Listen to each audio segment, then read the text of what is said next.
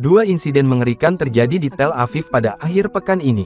Baru saja diberitakan sebuah bis menerabas halte di dekat markas militer Glilot 8200 milik Mossad dan menabrak puluhan personil yang sedang berada di sana. Portal berita dari media internal Israel menyebutkan lima orang tewas dalam kejadian dan 40 orang lainnya dilarikan ke rumah sakit, 15 di antaranya dalam kondisi kritis. Tampak kepanikan orang-orang berseragam militer mencoba mengevakuasi para korban yang masih terhimpit di bawah badan bis.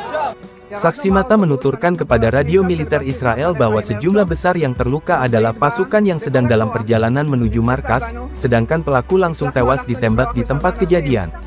Sementara itu kemarin Sabtu tanggal 26 Oktober di lokasi berbeda terjadi kebakaran yang menghanguskan sebuah bangunan bertingkat di kawasan permukiman sipil di Jalan Korki di bagian selatan Tel Aviv.